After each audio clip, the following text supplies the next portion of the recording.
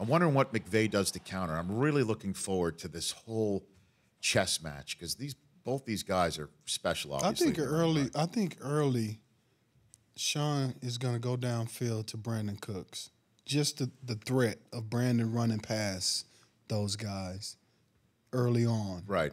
Remember Philly? They did that last year. Remember Alshon Jeffery? Right. Ran past him, got the long touchdown pass, and then, you know, um, Clement Yeah. went up the seam for another long.